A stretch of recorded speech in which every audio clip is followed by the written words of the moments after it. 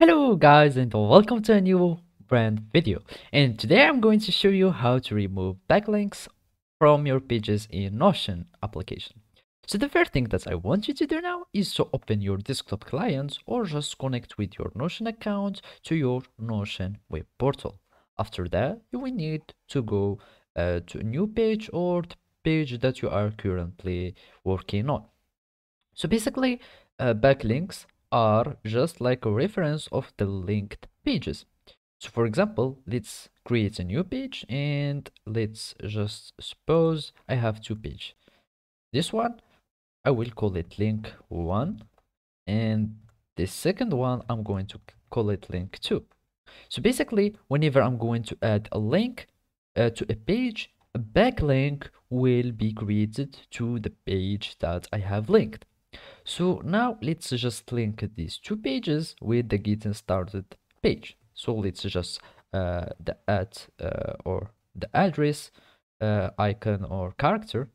Then uh, go for getting started. Let's do it again. And let's link it with getting started as you can see. And go for the second page and do the same thing and have getting started. And as you can see we have linked the two page with the getting started page so if I go to the Getting Started page, I will see that two backlinks has been created. So the backlinks are created automatically. So now to remove the backlinks, all I need to do is uh, to go here.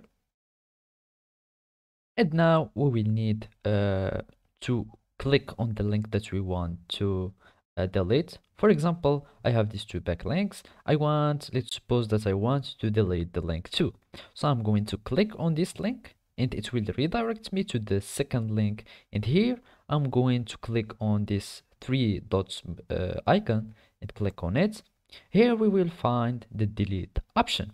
So I'm just going to click on the delete option and let's go back to our getting started page. And as you can see, our backlink has been deleted we can do this to all the links that you have and just click on delete and now you have all the backlinks has been deleted. So basically this is how you remove backlinks on your pages in notion. Thank you for watching and see you next time